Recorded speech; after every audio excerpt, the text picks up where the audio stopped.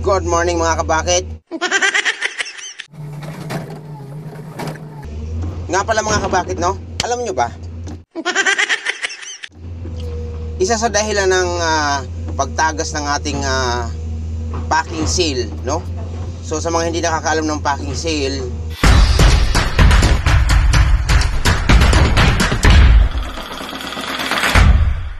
yan yung nagsisil ng ah, hydraulic sa mga silindro natin para solid yung pressure no? Hindi tumagas yung ating ah, oil 68 no? So marami kasi mga kabakit no?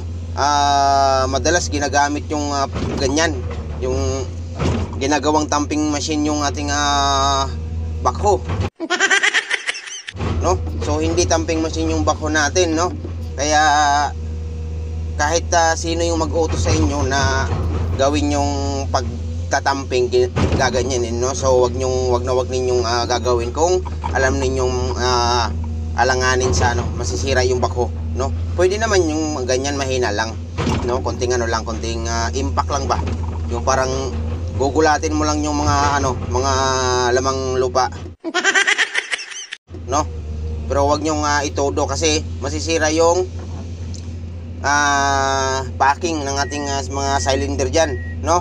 So, yun lang mga kabagit. Ingat kayo and God bless kasi marami pa akong ginagawa. Ah,